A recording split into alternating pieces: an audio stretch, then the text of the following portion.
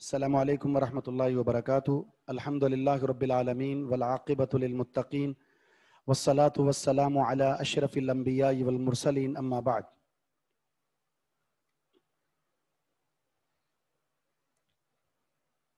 आज जिस हदीस से हमारी क्लास का आगाज़ हो रहा है, वो हदीस है अलखामिस वलखमसून, हदीस नंबर पचपन।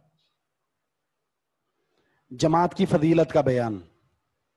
यानी जमात के साथ नमाज़ पढ़ना वाजिब तो जमात की फजीलत और उसका वजूब, यानी बा जमात नमाज़ पढ़ना वाजिब है और इसकी फजीलत क्या है, इसका बयान। शरीयत इस्लामिया जो है, हमें इज्तिमाइयत का दर्ज देती है। इज्तिमा, इत्तिफाक। ये इज्तिमा और इत्तिफाक बहुत सारी चीज़ों से हासिल होता है। उनमें सबसे बड़ी चीज़ नमाज़ है। भाई हज इज्तिमाइयत का मजहर है, लेकिन हज ज़िंदगी में सिर्फ़ एक बार है। जक़ात से भी इत्तिफाक और मोहब्बत पैदा होती है, लेकिन वो भी साल में एक बार है। रोजों से भी होती है, वो भी साल में एक महीना है। लेकिन जो चीज़ सबसे ज़्यादा मुसलमानों की इज्तमायत को और इत्तिफाक को पैदा करती है, वो है नमाज़। दिन में पाँच बार जमा होकर, इकट्ठे होकर एक साथ नमाज़ पढ़नी है। यानी इज्तिमायत की सबसे बड़ी मिसाल, इत्तिफाक की सबसे बड़ी मिसाल, और किसी के मुसलमान होने की सबसे बड़ी मिसाल, वो एक ही चीज़ है, और वो है नमाज़।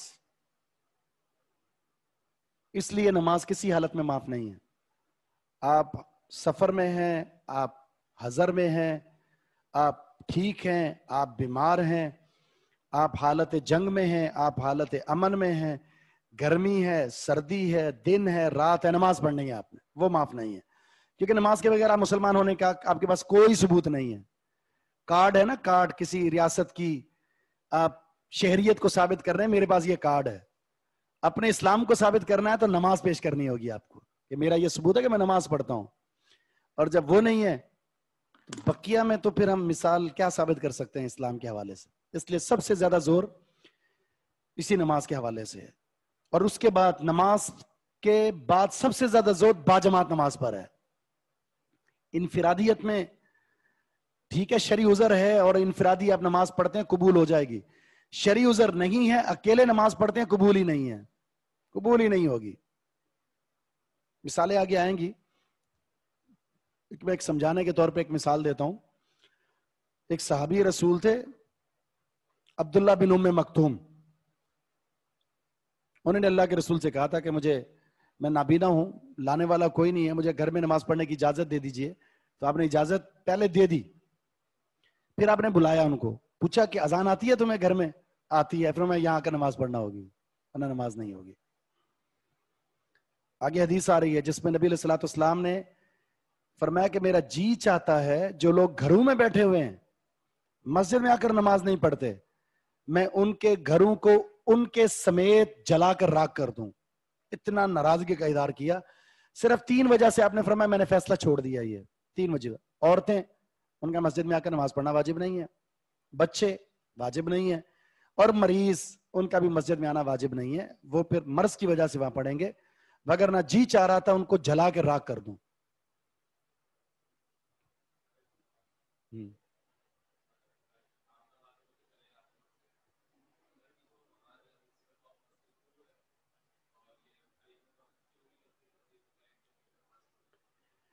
देखिए ऐसी सूरत में आप आप कहते हैं ना मस्जिद दूर है कोई परेशानी है बस लोग कहते हैं कि रास्ता खराब है और डर लगता है। अगर कोई आपके दिल में ये है यकीन है आपको तो आपको ये है कि मेरे लिए दूर जाकर नमाज़ पढ़ना बड़ा मसले का सबब है।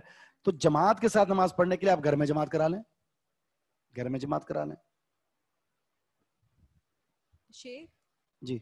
अगर किसी के वालिद या कोई मना करते हैं कि रात के वक्त में ईशा की नमाज़ आप घर में ही पढ़ें दूर मस्जिद है तो वहाँ ना जाएँ तो इस पे मतलब मतलब उस बंदे के पास इस्तेदात है कि वो जा सकता है मस्जिद तक तो तो फिर वो हदीस है ना? रसूलुल्लाह वसल्लम का फरमान है ला ताअत अहदिन फ़ी मासियतिल खालिक. अल्लाह की नाफरमानी में किसी की भी इतात जायज़ नहीं है। भाई मस्जिद में जाकर बाजमात नमाज़ पढ़ना फ़र्ज़ है फ़र्ज़ है। अगर कोई रोकता है ना जाए। तो फिर अल्लाह की बात माननी है या उसकी माननी है? ज़ाहिर अल्लाह की माननी है। अगर भी हालात खराब हैं, इसकी बुनियाद पर वो कहता है, जनाब, बेटा आप रात को ना निकलें। तो फिर ऐसी सूरत में माकूल वजह अगर है, शरी उजर है तो फिर ठीक है, शरी उजर नहीं है। हालात साजगार है, मस्जिद करीब है तो जाए जाकर नमाज़ पढ़े आप।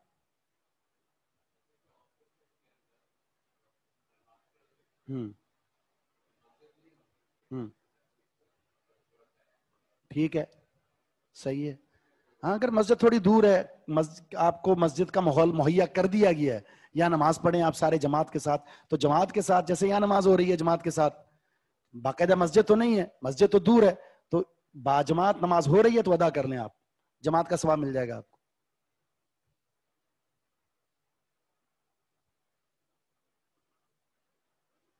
हाँ जैसे कोरोना में भी मसला हुआ था, मसाजिद में इतने अफराद से ज़्यादा नहीं आ सकते तो फिर एक शरी, एक उजर तो आ गया ना, वबा के खतरे की वजह से। आप घरों में बाजमात नमाज़ पढ़ लें, हो जाएगी इनशाला जमात की फजीलत क्या है इसका बयान? अब्दुल्ला बिन उमर रज़ी अल्लाह तुमा फरमाते हैं, सलातुल जमाअती अफजलु मिन सलातिल व जमात के साथ नमाज़ पढ़ना ये अफजल है तनहा नमाज़ पढ़ने से। फज का मतलब अकेला, तनहा नमाज़ पढ़ना।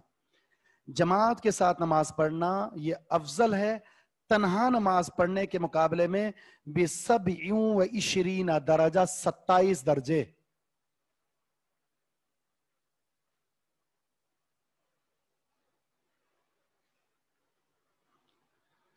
मस्जिद करीब है तो मस्जिद में पढ़ना है भाई। मस्जिद करीब है मुतसिल है तो मस्जिद में पढ़े नमाज़। दूर है तो एक अलग नौयत है उसकी जो आपको बता दी गई है। तो अकेला शख्स नमाज़ पढ़ता है, उसके पास कोई शरी उजर नहीं है। शरी उजर नहीं है। मतलब ठीक ठाक है, जमात के साथ नमाज़ पढ़ सकता था तो उसको सिर्फ़ एक दर्जा मिलेगा सवाब, कि नमाज़ पढ़िए, एक अजर मिलेगा। जमात के साथ पढ़ता है तो सत्ताईस दर्जे, सत्ताईस। सेवेंटी टू नहीं, ट्वेंटी सेवन।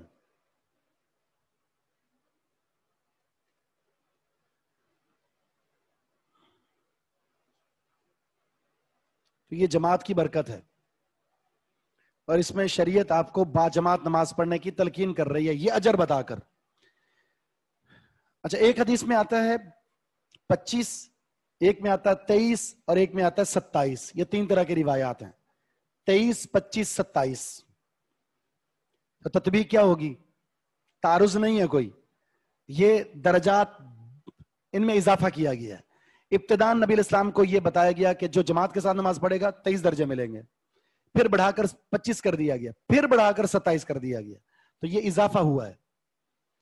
एक तो तत्बीक या तोजी ये है इसकी। आहिस्ता आहिस्ता इसमें इजाफा करके आखिरी सत्ताईस कर दिया गया।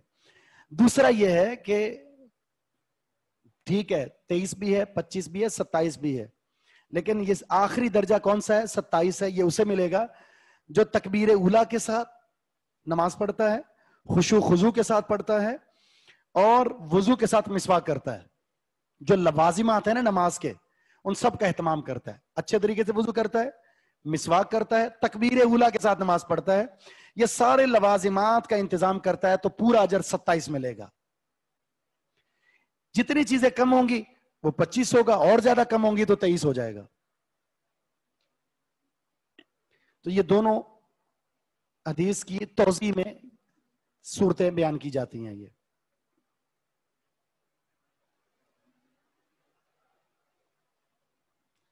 क्या इस हदीस में एक निकल रहा है ना? क्या इस हदीस में ये कहा जा रहा अकेला आदमी नमाज़ पढ़ता है तो एक अजर जमात के साथ पढ़ेगा तो सत्ताईस? ऑप्शन नहीं दिया गया।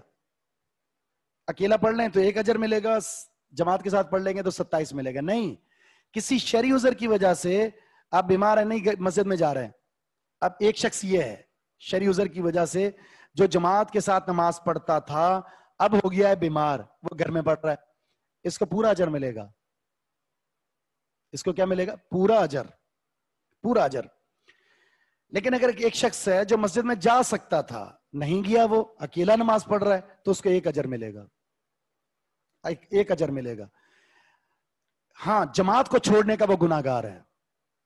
जमात छोड़ने की वजह से वो मुजरिम है, क्योंकि जमात के साथ नमाज़ पढ़ना वाजिब है। अच्छा इसमें दो अहल इलम का मौकफ आपके सामने है।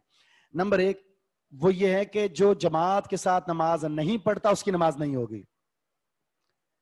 इसमें सऊदी अरब के जो कुछ जैयत किबार ओलमा है, उनका ये फतमा है, जिसके पास कोई शरी उजर नहीं है।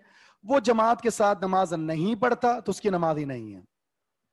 दलाइल मौजूद है, वो दलाइल आपके सामने ज़िक्र किए जाएँगे जब हम पढ़ेंगे अगर दूसरा मौकफ ये है कि जमात हो जाएगी, लेकिन जमात छोड़ने की वजह से गुनागार है। अजर सिर्फ़ एक मिलेगा उसे। अजर सिर्फ़ एक मिलेगा, नमाज़ हो जाएगी उसकी। अलबत्ता जमात को छोड़ने की वजह से वो गुनागार है।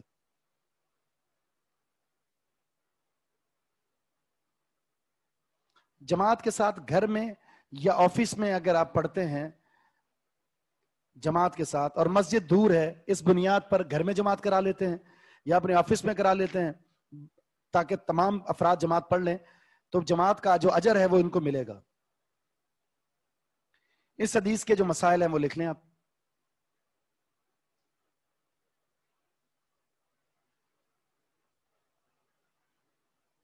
अगर फीमेल भी जमात के साथ नमाज़ पढ़ती है तो अजर मिलेगा सत्ताईस। तनहा नमाज़ पढ़ती है तो वो अजर उनका वही है जो है।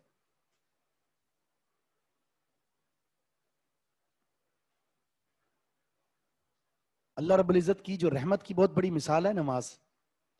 एक नमाज़ का एक अजर है, अगर तनहा पढ़ते हैं तो एक नेकी का अजर कितना होता है? दस। कोई भी नेकी कर लें तो वो दस काउंट की जाती हैं।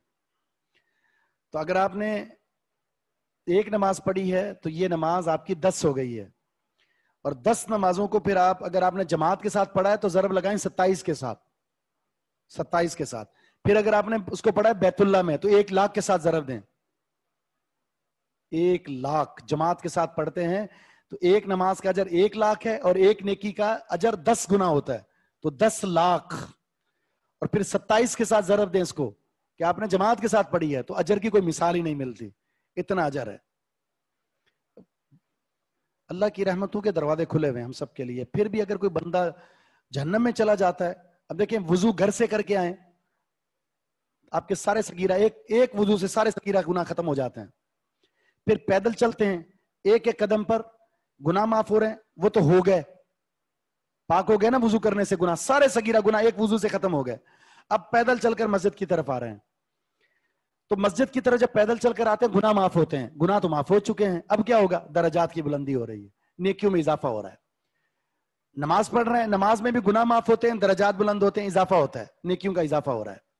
एक नमाज़ पढ़ी जमात के साथ सत्ताईस, और एक नमाज़ का अजर दस के बराबर है। और आप नमाज़ के इंतज़ार में बैठे हुए फरिश्ते दुआ कर रहे हैं अल्लाह मकफिर अल्लाह नमाज़ नमाज़ ही समझा जाएगा। नमाज़ के बाद अपनी जगह पर बैठे हुए हैं तो फरिश्ते दुआ कर रहे हैं अल्लाह मकफिर अल्लाह और आप नमाज़ ही की हालत में लिखा जा रहा है आपके लिए। कितनी, एक एक मिसाल दी जा रही है नमाज़। दो नमाजों के बीच में आपसे गुना माफ़ गुना हुए हैं, सारे माफ़ कर दिए जाएँगे। आपने पाँच नमाजें पढ़ी हैं, पाँच नमाजों के दरमियान से जो आपसे सगीरा गुना हुए सारे माफ़ हो गए। एक जुमे से लेकर दूसरे जुमे तक गुना हुए, माफ़ हो गए। एक उम्र से लेकर दूसरे उम्र तक गुना हुए, माफ़ हो गए। एक हज से लेकर दूसरे हज तक गुना माफ़ हो गए। एक रमज़ान से लेकर दूसरे रमज़ान तक गुना माफ़ हो गए। माफ़ी हो जा रही है, माफ़ी हो जा रही है। एक शख्स पाँच वक्त की नमाज़ पढ़ लेता है, नबी इस्लाम का फरमान है, तुम में से अगर कोई शख्स दिन में पाँच दफ़ा नहाता है तो मैल कुचैल नज़र आएगी? बिल्कुल नहीं साफ़ सुथरा नज़र आएगा। फिर मैं पाँच वक्त की नमाज़ अगर कोई पढ़ ले तो गुनाहों से इसी तरह पाक और साफ़ होगा वो इंसान। पहला मसला। नहीं, अब लिखवा रहा हूँ मैं। पहला मसला यह है, जमात के साथ नमाज़ पढ़ने की फजीलत जमात के साथ नमाज़ पढ़ने की फजीलत सत्ताईस दर्जे है।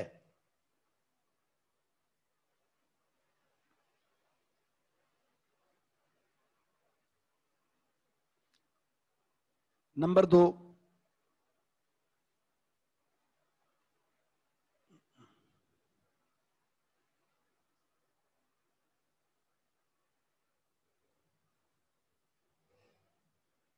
नहीं, जमात के साथ मिल जाएगा।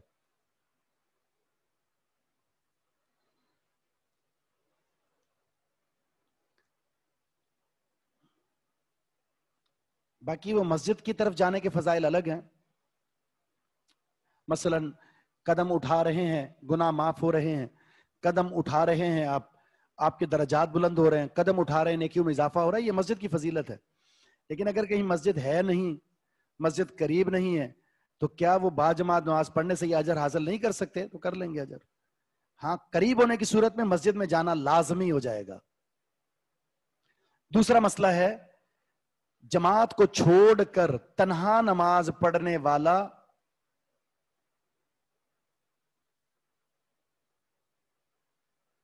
सत्ताईस दर्जे वाले अजर से महरूम हो जाता है। जमात को छोड़कर तनहा नमाज़ पढ़ने वाला सत्ताईस दराजात के अजर से महरूम हो जाता है।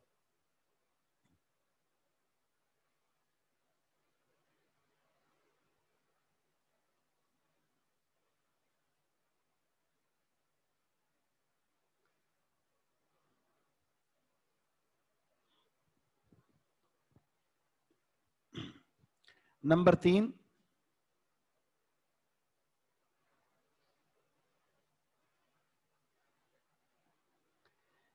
इस हदीस से तनहा नमाज़ पढ़ने के इस हदीस से तनहा नमाज़ पढ़ने के जायज़ होने पर इस्तदलाल किया गया है।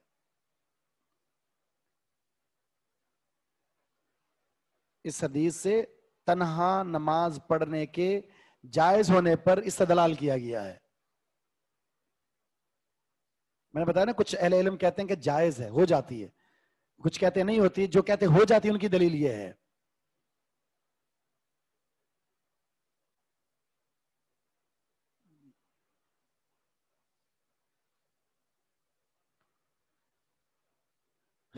क्या आवाज़ सही नहीं आ रही?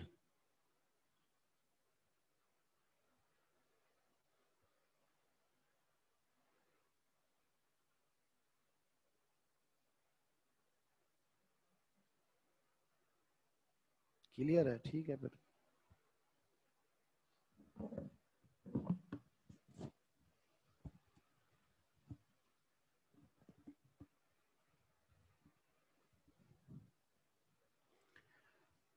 ठीक है। और एक और मसला लिख लें। अगर कोई शख्स बा जमात नमाज़ का एहतमाम करता था। इस्तदलाल मतलब दलील दलील। अगर कोई शख्स बाजमात नमाज़ अदा करता था, फिर किसी शरीई उजर की वजह से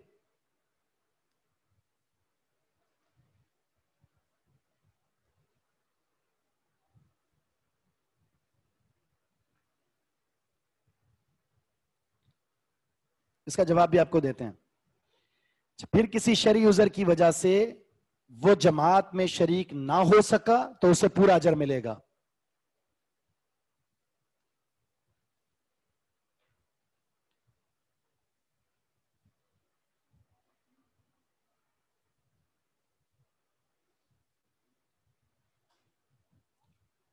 बड़ी हदीसें इस पर दलील हैं।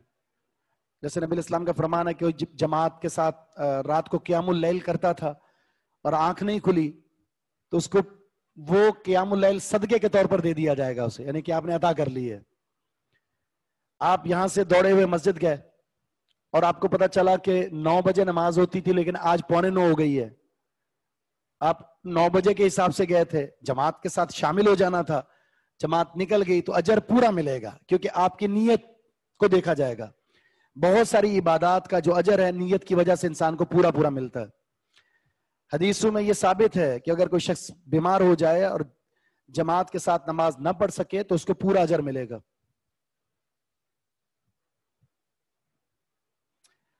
अब सवाल यह है, जो यहाँ हुआ है कि दीनी तालीम के अवकात की वजह से जमात छूट जाए, क्या यह शरी उजर है या नहीं है?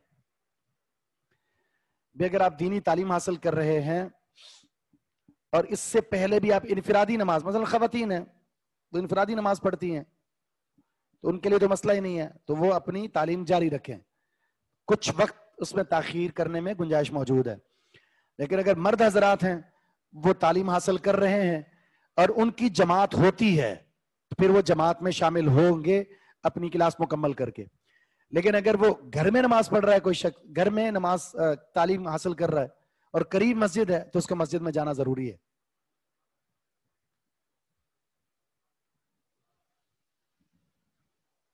इनफरादी का मतलब होता है अकेले नमाज़ पढ़ना। शरई वजह शरई वजह। उजर, उजर का मतलब होता है शरई सबब।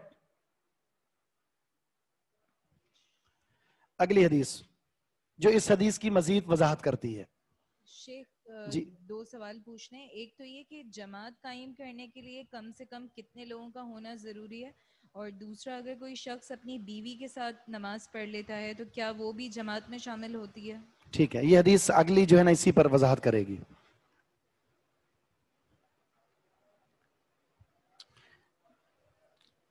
अमल के इसका एक हदीस के बाद ही जवाब आ रहा है तो जवाब ये है कि नबी सलाम ने अपनी हदीस में इस बात को वादे किया है कि जमात कम से कम दो अफराज से शुरू हो जाती है, दो से।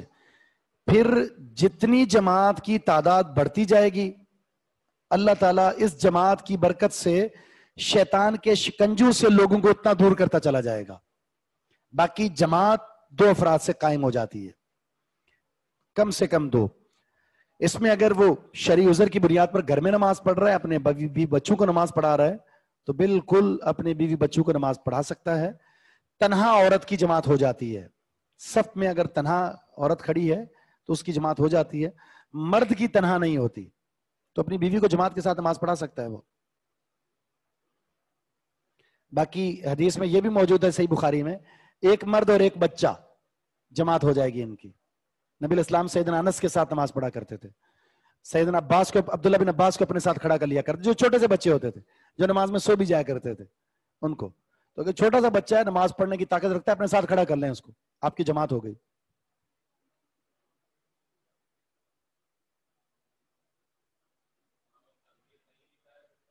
हाँ ऐसा भी है कि अगर आप अकेले नमाज़ पढ़ रहे थे ना, अकेले नमाज़ शुरू की आपने, कोई और शामिल हो जाता है तो जमात हो गई आपकी। नबी सलाम रात को तहजद की नमाज़ के लिए खड़े हुए, सही बुखारी की हदीस है। अब्दुल्ला बिन अब्बास उठे और उठने के बाद नबी इस्लाम के बाएँ तरफ़ खड़े हो गए। हालाँकि वो दाएँ तरफ़ खड़े होते तो नबी इस्लाम ने उनके कान से पकड़ा और उनको लाकर अपने दाएँ तरफ़ खड़ा कर दिया। तो आपने जब नमाज़ शुरू की थी तो जमात का इरादा तो नहीं था। जब आए तो आपने उनको साथ खड़ा कर लिया, जमात शुरू हो गई। इसलिए जब आप ये आए ना मस्जिद में, लेट हो गए हैं, कोई नमाज़ पढ़ रहा है तो आप जाकर उनके साथ खड़े हो जाए। जमात शुरू हो गई। इसके लिए ज़रूरी नहीं होता कि आप शुरू से ही जमात की नीयत कर लें। तनहा के साथ आप पढ़ लें। कोई आपके साथ शामिल होता है दरमियान में तो नमाज़ आपकी जमात शुरू हो जाएगी।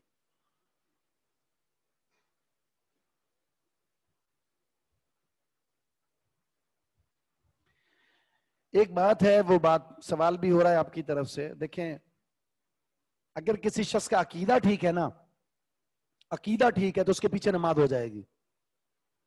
अगर किसी शख्स का अकीदा सही नहीं है तो उसके पीछे नमाज़ नहीं होती। अकीदा इबादत की, कबूलियत की बुनियादी शर्त है। अगर किसी के पास बुनियादी चीज़ मौजूद नहीं है तो उसकी अपनी नमाज़ नहीं है तो पीछे वाले की क्या होगी? इसलिए ये कोई भी हो, उसके ताल्लुक से ये उसूल जहन में रख लें। अकीदा ठीक है, नमाज़ हो जाएगी। अकीदा ठीक नहीं है तो नहीं होगी।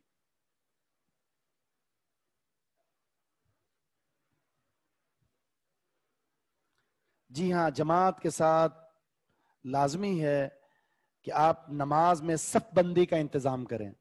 वो सफ बंदी की हदीसें जब आएँगी तो वहाँ हम बात करेंगे। सलातुर्रजुली अब हुरैरा फरमाते हैं वसल्लम का फरमान है सलातुर्रजुली आदमी का नमाज़ पढ़ना, फिल जमाआती, जमात के साथ। तो आफू उसके अजर को बढ़ा दिया जाता है। आदमी का जमात के साथ नमाज़ पढ़ना, उसके अजर को बढ़ा दिया जाता है।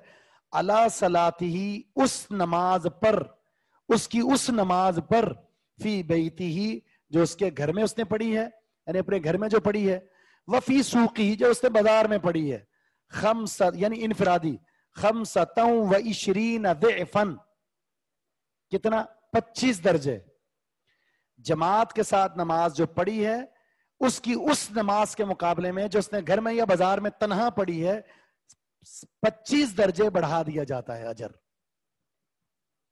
जैसा कि मैंने बताया था आपको कि एक हदीस में तेईस है, एक में पच्चीस है, और एक में सत्ताईस है। यहाँ पच्चीस का ज़िक्र है।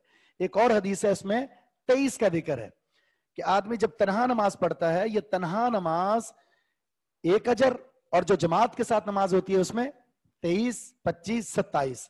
और वो तोजी मैंने दो शक्लों में आपके सामने बयान कर दी। इब्तदान तेईस थी, फिर पच्चीस और फिर सत्ताईस कर दी गई। या फिर जो नमाज़ के लवाजिमात हैं, उन सारे लवाजिमात का इंतज़ाम करके पढ़ता है तो सत्ताईस, कम करता है तो पच्चीस और कम करता है तो तेईस। जी, सवाल है? आदमी का नमाज़ पढ़ना जमात के साथ उसके अजर को बढ़ा देता है उस नमाज़ के मुकाबले में, जो उसने तनहा अपने घर में पढ़ी है, या तनहा उसने बाज़ार में पढ़ी है। खम सतों व अदेफन और ये अजर कितना बढ़ा दिया जाता है? पच्चा, पच्चीस दर्जे तक। बदाली का और वो ये है, यानी तरीका, इस अजर को हासिल करने का। इदा तवद्दा जब बंदा वुदू करता है फ़ाहसन अल वुदुआ, और बेहतरीन वुदू करता है। बेहतरीन वुदू क्या है? आहसन वुदू किसे कहते हैं? आहसन वुदू। जब आजाए वज़ू को तीन तीन बार धोया जाए, वो आहसन वुदू है। सबसे बेहतरीन शक्ल आजाए वज़ू को तीन तीन बार धोना है। तीन से कम जायज़ है, दो दफ़ा भी धो सकते हैं, एक दफ़ा भी धो सकते हैं। एक से कम यानी नाकिस ना हो, तीन से जायद ना हो, गुनागार होगा। किसी उजफ को एक दफ़ा भी ना धोया, यानी छोड़ दिया या अधूरा धोया, वज़ू नहीं है। तीन से ज़्यादा बार धोया, गुनागार होगा। तीन दफ़ा धोएगा तो ये आसन वधु है। कोई शख्स वधु करता है और आसन वधु करता है। आसन का मतलब है बेहतरीन वज़ू। सुमा खारजा मस्जिद, फिर वह मस्जिद की तरफ़ निकलता है। लायुखरिजुहू उसे नहीं निकालती मस्जिद की तरफ़, इल्ल सलातु, मगर सिर्फ़ नमाज़। यानी अपने घर से निकलकर मस्जिद की तरफ़ आता है, आने का सबब सिर्फ़ नमाज़ है। अजर क्या है? अच्छा वज़ू करके, इसका मतलब है वज़ू घर से करके आना चाहिए। फिर वो मस्जिद की तरफ़ आता है और नमाज़ के अलावा कोई और मकसद नहीं है। लम यख्तु खुत वतन नहीं उठाता कोई कदम। खुतवा एक कदम को कहते हैं। हमारा ये जो पाँव उठता है ना, ये एक कदम है। इल्ला रुफियत लहू बिहा दराजा। मगर एक कदम की वजह से उसका एक दर्जा बुलंद कर दिया जाता है। एक पाँव उठाया, एक दर्जा बुलंद हो गया। वह खुत्ता अन हो बिया खतिया, और एक गुना माफ़ कर दिया जाता है।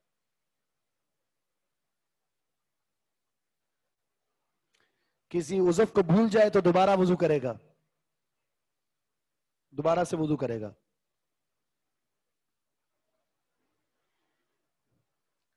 तो एक कदम के दो सवाब हैं, दो नतीजे निकले हैं।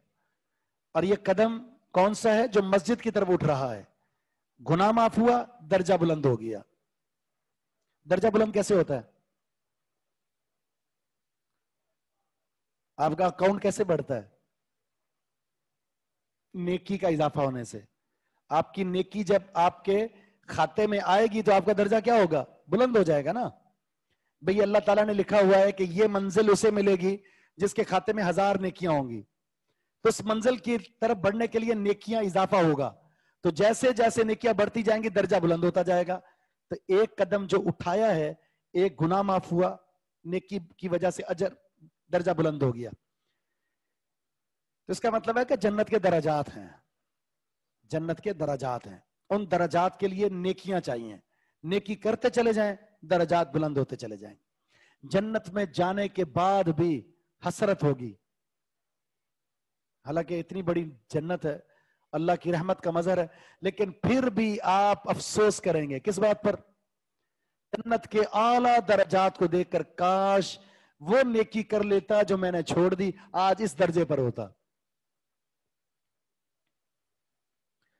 फैदा सल्लाह अच्छा यहाँ पर मैं बता दूँ, साहबा इक्राम का जज्बा। सही बुखारी में आता है, जब वो नमाज़ पढ़ने के लिए घर से निकलते थे, वुदू करके तो छोटे छोटे कदम रखते थे, यूँ मिला मिलाकर ताकि क्या हो, अल्लाह ने तो अजर देना है ना, अल्लाह ये थोड़ी देखेगा, ये छोटे कदम रख रहा है, ये गलत कर रहा है। उसने तो अजर देना है, आप अपने कदमों की तादाद बढ़ा दें। और हमारी कोशिश होती है जल्दी मस्जिद पहुँचे, एक पाँव यहाँ होता है, दूसरा वहाँ होता है। यूँ। और मस्जिद में आ रहे होते हैं, दौड़कर तकबीर उला पालें या पहली रकत पालें, अल्लाह अकबर, सांस चढ़ा हुआ होता है। ये नमाज़ के अदब के खिलाफ है। नबी इस्लाम का फरमान, जब नमाज़ के लिए आओ तो जल्दी आओ। इस जल्दी का मतलब पता क्या है? पहले आओ। ये नहीं है कि स्पीड के साथ आओ। नहीं, जल्दी आओ। और जब मस्जिद में आओ तो तुम पर सुकून इतमान तारी होना चाहिए। इतमान के साथ। बादब किसी के साथ जब मिलने जाना होता है तो कैसे आते हैं? बड़े वकार के साथ। दौड़ते हुए तो नहीं आते, आराम के साथ आते हैं। कि उसकी, वो आपकी चाल को भी देख रहा होता है। तो अल्लाह की हुजूर जब हाजिरी हो तो उसका भी अदब यही आराम से जाए मस्जिद में, प्यार के साथ, अल्लाह कर कहें तो इतमान के साथ कहें। कोई आप पर ऐसी कैफियत तारी ना हो कि आपको सांस आ रहा हो, आपको परेशानी हो। ये हिरस है, हिरस नेकी का। यहाँ से मुस्लिम का वो किस्सा भी तरकीबन आपके सामने रख देते हैं। कार में जाते हैं तो जाएँ, भगा कर ले जाए, इसमें भी कोई मसला नहीं है। कार खड़ी करने के बाद आराम से जाएँ। ठीक है? लेकिन उसमें भी देखें, ऐसे नहीं कि आप आम रूटीन में आप चला रहे हैं, अस्सी पर, नब्बे पर, और उसके बाद आप निर्बाध को पाने के लिए 120 पे चलाएँ, दूसरों को ठोकते हुए आए तो ऐसा नहीं होना चाहिए। अपनी जान पर भी नहीं खेलना चाहिए। अच्छा एक सहाबी थे, उबई बिन काब के दोस्त। सही मुस्लिम में उबई बिन काब के दोस्त। वो कहते हैं, उनका घर मस्जिद नबी में सबसे दूर था, जो आसपास की आबादियाँ उन आबादी में सबसे आखिर में था। वो गर्मी हो, जमात के साथ नमाज़। सर्दी है, जमात के साथ नमाज़। अंधेरा है, जमात के साथ नमाज़। शदीद धूप है, जमात के साथ नमाज़। मैंने कोई नमाज़ बा जमात उनकी खता नहीं देखी। एक दिन मुझे बड़ा तरस आया इन पर। मैंने उनसे कहा कि, आप सवारी ले लो। उस पर आया करो। सवारी लेंगे तो गर्मी से बच जाएँगे जो ज़मीन की गर्मी होती है। और अंधेरों में जब आप सवारी पर आएँगे तो कम से कम जो रात को रास्तों पर कीड़े, मकोड़े और हशरात, उलर्द, सांप इस तरह के, उनसे बच जाएँगे आप। और आपका आना भी आसान हो जाएगा। तो उन्होंने जवाब क्या दिया? उबई बिन काब के वो दोस्त हाबी रसूल ने कहा, अल्लाह की कसम, मैं तो ये भी पसंद नहीं करता, मेरा घर मस्जिद नबी के सामने हो। हालाँकि शरफ की बात होती है, मैं ये पसंद नहीं करता। क्या क्यों? नीयत देखें कि मैं जब अपने घर से आता हूँ, मेरी नीयत ये होती है कि मस्जिद की तरफ़ आते हुए जितने भी कदम है मेरे हर हर कदम पर मेरा गुनाह माफ़ हो और मेरा दर्जा बुलंद कर दिया जाए। और नमाज़ पढ़कर जब मैं वापस जाऊँ तो नेकी करके वापस जाने घर तक फ़ी सबीलिल्लाह है। नेकी के रास्ते में आया था, जब तक घर नहीं पहुँचता, ये फ़ी सबीलिल्लाह है। और मेरा इरादा है कि वापसी कदम पर भी मेरे गुना माफ़ हो दर्जात बुलंद हो जाए। इसलिए मैं पैदल आता हूँ, पैदल जाता हूँ, ना घर करीब पसंद करता हूँ, ना सवारी पसंद करता हूँ। नहीं समझाया, समझ समझ नहीं आई तो अल्लाह के रसूल को कह दिया, आप समझा दें। मुझे बड़ा तरस आता है इन पर। तो नमाज़ के बाद नबी इस्लाम ने बुला लिया। भाई ये कह रहे हैं कि तुम्हारी क्या राय है? ले लो सवारी, बेहतर है। उन्होंने वही बात दोहराई। तो नबी इस्लाम ने जब ये बात सुनी, साहबी का जज्बा देखा फरमा कद जमा अल्लाह का कुल्ला। आपने फरमाया, मेरे साहबी, अल्लाह ने तेरी नीयत के मुताबिक तुझे वो कुछ दे दिया जो तू चाहता है। यानी तू आएगा और जाएगा, हर हर कदम पर तेरे गुनाह माफ़ होंगे और तेरे दर्जात बुलंद होंगे। ये शौक था सहाबा का जज्बा, हिर्स, लालच, नेकी। ये होता था मुकाबला उनका। आजकल ये मुकाबले थोड़ी हैं। आजकल नौकरी अच्छी हो, गाड़ी अच्छी हो, कपड़ा अच्छा हो, घर अच्छा हो, कलर अच्छा हो, सोफा सेट अच्छा हो, ये चीज़ें अच्छी हो, है ना? पैसे ज़्यादा आते हो, ये इन चीज़ों में मुकाबला है। खेल का मुकाबला, हुसन का मुकाबला, लिबास का मुकाबला, जूतों का मुकाबला, ये मुकाबले अच्छा जो मुकाबला अल्लाह ने कहा है, फस्तबिकुल खैरात, नेकियों में मुकाबला करो, वो मुकाबला नहीं है। अच्छा कोई नमाज़ पढ़ रहा हो, ये बड़ा नमाजी आया। उस पर तबसरे होते हैं। तुझे बड़ा शौक है नमाज़ बनने का। नंबर बना रही है अगर किसी ने शलवार ऊपर कर लिया तो उस पर तंज होता है। सुन्नत के मुताबिक दाढ़ी रखी है तो उस पर तंज होता है। यानी नेकियों में आपको तंज मिलेगा, मुकाबला नहीं मिलेगा। इसलिए किसी के तंज की वजह से पीछे नहीं हटना। आपके अंदर और जज्बा, इबादत पैदा होना चाहिए। करते रहें। आप लोगों के लिए थोड़ी कर रहे हैं, अल्लाह के लिए करना। तंज की परवाह नहीं करनी चाहिए। बल्कि एक हदीस में तो आपने पढ़ा है ना, हसद, रश्क जिसको कहते हैं, रश्क। वो किसी चीज़ में जायज़ नहीं, सिवाय दो के। और दो चीज़ें कौन सी हैं?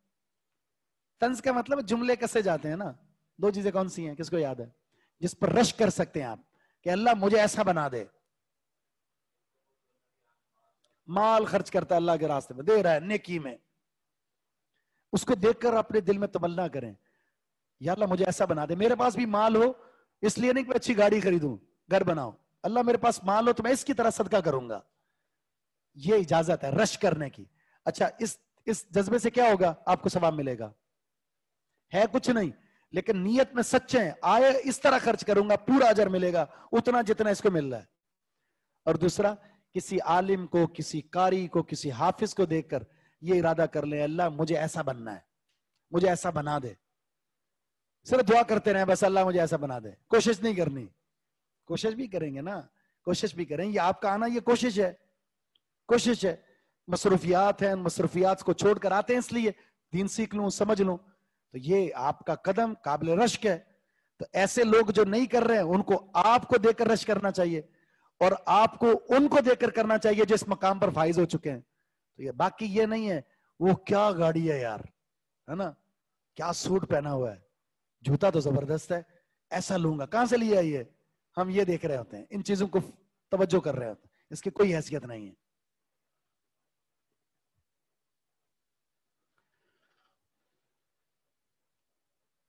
तो नमाज़ पढ़ने से ये दो हज़ार, चलने से हासिल हुए हैं। वज़ू की फजीलत पढ़ी थी आपने? क्या फजीलत है वज़ू की?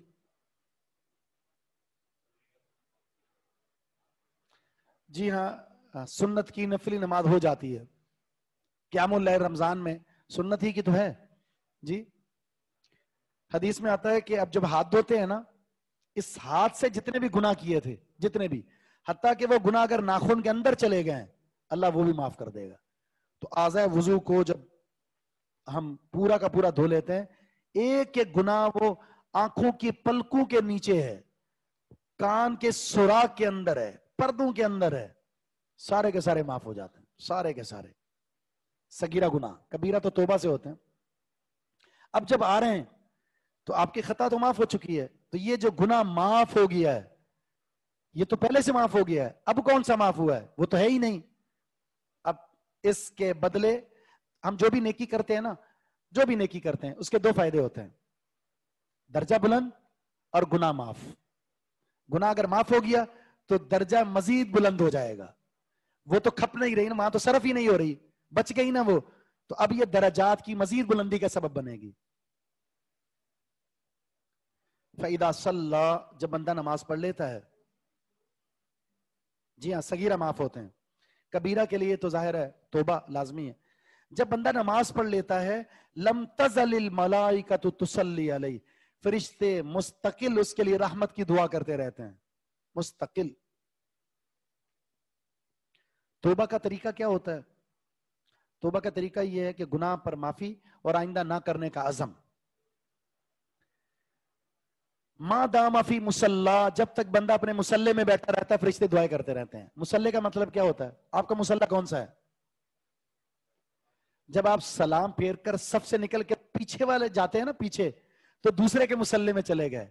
आपका मुसल्ला आपकी खड़े होने की जगह से लेकर सजदे वाली जगह है। आप आगे तो हो सकते हैं, पीछे नहीं हो सकते। पीछे किसी और का मुसल्ला है। अपने मुसल्ले पर रहे आप। वहीं बैठे रहते हैं। तीन काम करने आपने। मुसल्ले को नहीं छोड़ना। किसी से बात नहीं करनी और वज़ू नहीं तोड़ना। तो उस जगह बैठे रहे। एक घंटा बैठे, दो घंटे बैठे, पूरा दिन बैठे। फिर इससे क्या दुआ कर रहे हैं? अल्लाह मकफिर अल्लाह मरहम अल्लाह मतुब अल्लाह रहमत नाजल फरमा दे। अल्लाह गुना माफ़ कर दे। अल्लाह, इसकी तरफ़ रुजू फरमा। किसको मुकर किसने मुकर किया इस फरिश्ते को? अल्लाह ने मुकर किया। आपके लिए दुआ के लिए स्पेशल तो अल्लाह ने तो फरिश्ते की ज़िम्मेदारी लगा दी है। अब ज़िम्मेदारी हमने अदा करनी है। जितना फुर्सत का वक्त है, उसके मुसल्ले पर गुजारा जाए। कुछ लोग ऐसे भी होते हैं। इधर से इमाम ने अस्सलाम वालेकुम वरहमतुल्लाह कहा है। दूसरा भी कह रहा है, अस्सलाम कहा है। अभी मुकम्मल भी नहीं हुआ, वो बंदा उठकर जा चुका होता है। ऐसे भी उजलत बाज होते हैं। आएँगे सबसे आखिर में, जाएँगे सबसे पहले। अल्लाह के घर में दिल ही नहीं लगता। मेजबान कौन है? अल्लाह ताला है। मेहमान कौन है? ये। तो अल्लाह तो उस मेहमान को अपने घर में पसंद फरमाता है। लेकिन अगर मेजबान ऐसा हो तो अल्लाह ताला उसको जल्दी से फारिग कर देता है। कुछ होते हैं ना, आपने कैटेगरीज बनाई होती हैं। ये स्पेशल मेहमान है, यहाँ बैठे रहे ये लोग। कुछ ऐसे होते हैं, वो उधर जाए। कुछ बिल्कुल बेकार होते हैं, उनका खेमा अलग होता है। है ना? तो ये मस्जिद के अंदर आने वाले सबसे बेकार मेहमान वो होते हैं जो आखिरी सप में होते हैं और जल्दी से निकल जाते हैं। अल्लाह पसंद ही नहीं करता मेरे घर में ज़्यादातर बैठे। मेरे जो शाही मेहमान हैं, उनको भी खराब करेंगे ये लोग। शाही मेहमान वो जिनका दिल मस्जिद में लगता है। बार बार मस्जिद, इंतज़ार मस्जिद मस्जिद में आना, अलार्म लगाना दूसरों कहना, मुझे जगा दो, मैंने मस्जिद में जाना है। ये अल्लाह के शाही मेहमान है। फिर इनकी मेहमान, अल्लाह ताला ने फरमाया कि जो दिन और रात, यानी सुबह और रात, गर्मी, सर्दी की परवाह किए बगैर मस्जिद की तरफ़ आते हैं, अल्लाह ने जन्नत में इनके लिए बेहतरीन मेहमान नवाजी तैयार कर रखी है, बेहतरीन। उस मेजबान की मेहमान नवाजी क्या है? इसकी तो कोई मिसाल ही पेश नहीं कर सकता। फरिश्ते दुआ कर रहे हैं अल्लाह मसल अल्लाह रहमत नाजल फरमा अल्लाह मकफिर लहू अल्लाह मकफरत फरमा इसकी अल्लाह मरहम अल्लाह रहम फरमा दे इस पर वला यजालू फ़ी सलातिन वो आदमी नमाज़ ही में रहता है मन तजर सलाता जब तक वह नमाज़ का इंतज़ार करता रहता है ये फजीलत किसकी है नमाज़ ही में रहता है जब तक वो नमाज़ का इंतज़ार करता रहता है इसकी तीन तोजी हो सकती हैं नमाज़ का मुंतजिर कौन है तीन तोजी हो सकती हैं।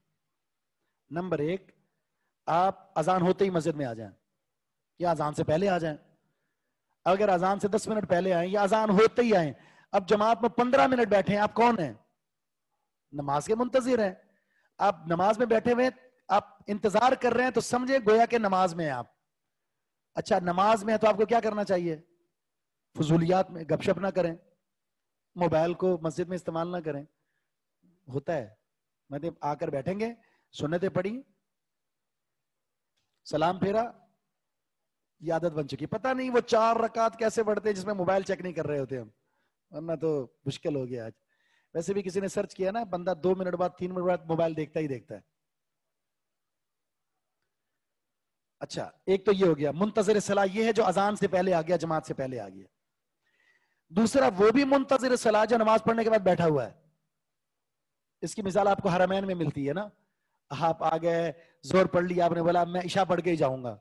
ये मुंतजर सलाह है। या आपने कहा, चले, जोहर असर पढ़ के जाऊँगा। फिर मगरिब में आए तो आपने ईशा पढ़ के जाऊँगा। ये मुंतजर सलाह, नमाज़ का मुंतजर। तीसरा वो भी है, और अल्लाह ताला उसको अपने फजल से शामिल करेगा। जो नमाज़ पढ़ के जा चुका है, अपनी दुकान खोल ली, अपने कारोबार में है लेकिन अपने मोबाइल पर उसने अलार्म लगा दिया अगली नमाज़ का। ये बार बार देख रहा है, नमाज़ का वक्त तो नहीं हुआ। घड़ी लगा दी इसलिए कि मैं नमाज़ का वक्त देख सकूँ। अलार्म लगा लिया ताकि नमाज़ का मुझे पता चल जाए। या किसी को कह दिया, नमाज़ का वक्त हो तो मुझे बता दे। नमाज़, जहन पर सवार है नमाज़। मैंने जमात के साथ नमाज़ पढ़नी है। ठप, दुकान बंद करता खरीदार सामने बैठा हुआ है। आप कहते हैं नमाज़ खड़ी होने वाली, बंद की, बाद में बात करेंगे। आप चलेगा नमाज़। इसकी मिसाल भी सऊदिया में मिलती है। ऐसे भी केसेस ऐसे भी मामला देखने में आते हैं। डील चल रही है लाखों की। इधर से अजान हुई, बंद। खल्लास, अब नमाज़ के बाद बात होगी। और हम क्या चलते हैं? यार, ये चला गया तो फिर रिस्क अल्लाह ने देना है ना। अल्लाह इसको आपके पास लेकर आएगा। बल्कि हो सकता है अगर आपने एक कोई वक्त अल्लाह के लिए सर्फ कर दिया है ना तो जितना वक्त अल्लाह के लिए आप देंगे, अल्लाह मुमकिन है, थोड़े से वक्त में दुगनी आपको बरकत अता फरमा दे। और ये यकीनन है। हम दुकान इसलिए बंद नहीं करते कि गाहक अगर आए और देखे कि नमाज़ का वक्त है और नहीं है, ये होता ही नहीं है।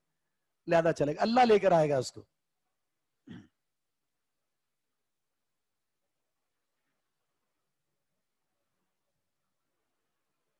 पानी से एलर्जी। अगर किसी को पानी से एलर्जी है तहजद और फजर के लिए वो तयम कर सकता है। पानी पीने से भी एलर्जी है। ये कुछ शरी उजर तो नहीं है। सिर्फ़ तयम तब है, बीमारी में जब आपका तयम का करना पानी का इस्तेमाल करना मौत का सबब बन सकता हो। जान को खतरा हो, जान लेवा। बाकी कोई शरी उजर नहीं है। छींकू को आप मास्क लगा लें, इंशाल्लाह कोई मसला नहीं है। उसके बाद गर्म कावा पी लें आप। असर के बाद तहियतुल वुदू पढ़ सकते हैं।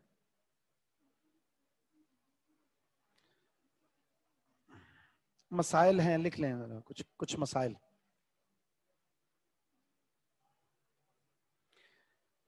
पहला मसला तो वही है, जमात के साथ नमाज़ पढ़ना।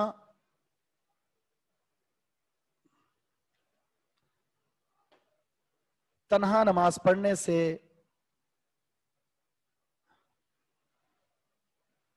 ज़्यादा अजर का बाइस है।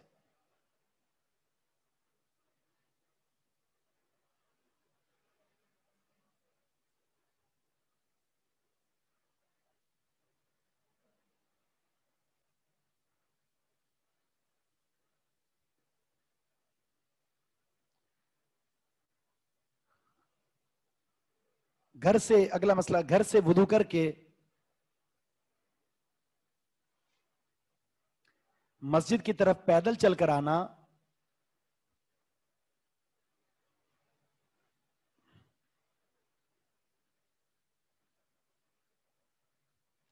दराजात की बुलंदी का सबब है, दराजात की बुलंदी का सबब है।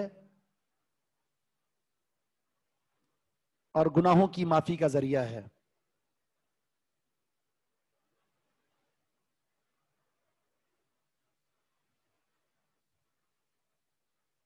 जब भी वज़ू करें, आप पढ़ सकते हैं तहियतुल वुदू। किसी नमाज़ के साथ खास नहीं है।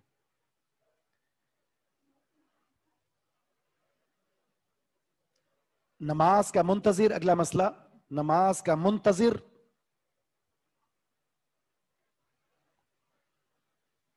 नमाज़ वाला अजर पाता है।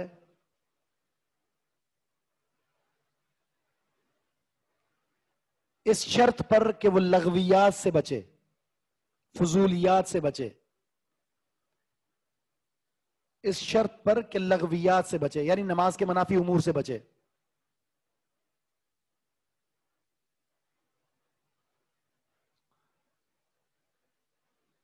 एक और मसला नमाज़ के बाद अपनी जगह पर बैठे रहने से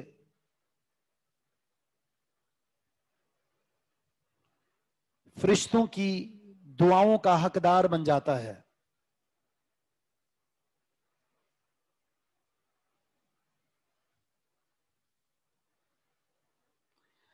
भाई, अगर कहीं लेट नमाज़ हो रही है तो आप जल्दी नमाज़ बाजमात पढ़ सकते हैं तो पढ़ लें।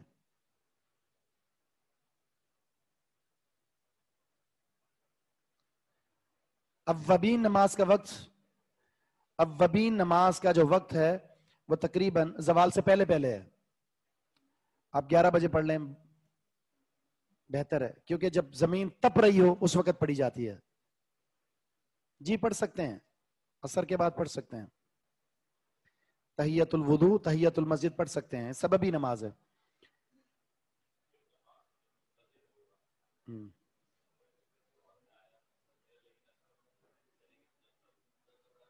बिल्कुल बिल्कुल मिलेगा। ठीक है जी, इसी पर इख्तिताम करते हैं।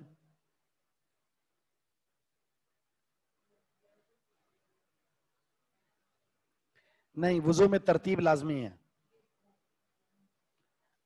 अव्वबीन नमाज़ मगरिब के बाद अव्वबीन का जो कौल है, वो किसी भी सही हदीस से साबित नहीं है। सलात अव्वबीन ये जवाल से पहले पहले होती है। मगरिब के बाद दुरुस्त नहीं है, साबित नहीं है। जी कुरान पढ़ सकते हैं, कोई हर्ज नहीं मोबाइल से। कोई हर्ज नहीं।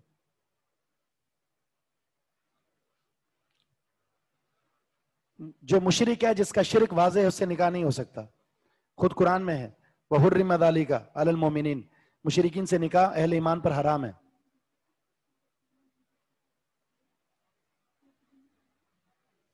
नहीं नहीं तहियतुल वुदू ज़रूरी नहीं है। तहियतुल मस्जिद ज़रूरी है।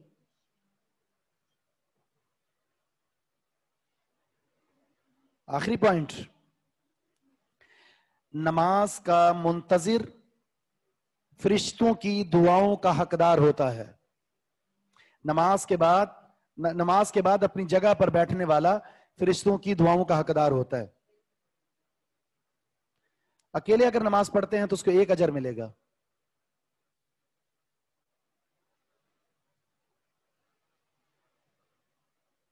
चलें आप सब नमाज़ पढ़ लें। सुबह नकल्ला अशद अस्तफ़िरुका व अतुब